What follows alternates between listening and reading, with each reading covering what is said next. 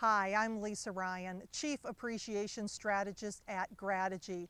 Welcome to day 12 of your five Thank Yous a Day Gratitude Challenge.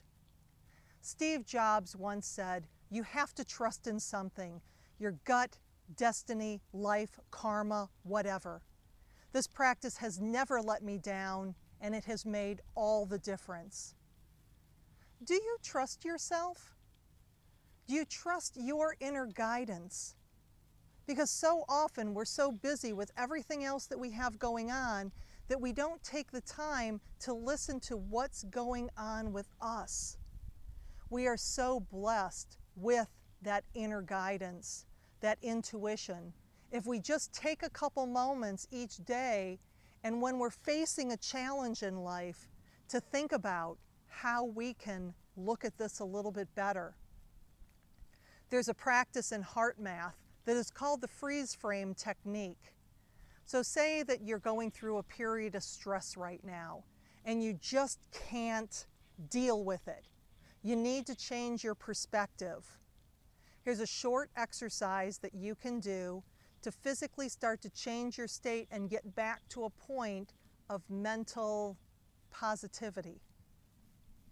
So first of all, what you're going to do is close your eyes and put your hand on your heart.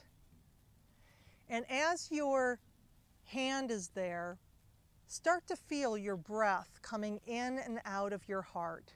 You're breathing in, it's coming in through your heart, breathing out, it's being released through your heart. Really focus on that heart area. Now when you're there, think about a time in your life that you were so profoundly grateful, that you were joyful, that you were passionate about something. Maybe it's the first time that you held your child, or when you looked into the eyes of your beloved. Maybe it's when you graduated from college, or your kids did. Go there to that one moment and really experience those positive emotions. Feel it as if you were still there. And as you're breathing and concentrating on that positivity, whatever it was that was just frustrating you, ask yourself, ask your heart how you can look at that situation differently. And then pause and listen. When we trust ourselves, when we take the time to go into the silence to listen to our inner wisdom, we found, find that it can make a profound difference in every area of our life.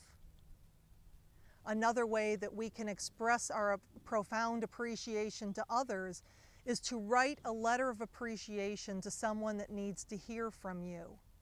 So maybe when you're going to your heart center, instead of thinking about something that's frustrating you and working it that way, Think about somebody that needs to hear from you today and write them a letter letting them know the difference that they are making in your life. When you express appreciation verbally to someone, you create a beautiful memory. But when you write it down, you create a treasure.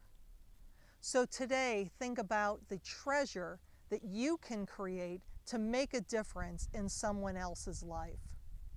I appreciate you. Have a fabulous day. Let's do it again tomorrow. And let's remember to be grateful.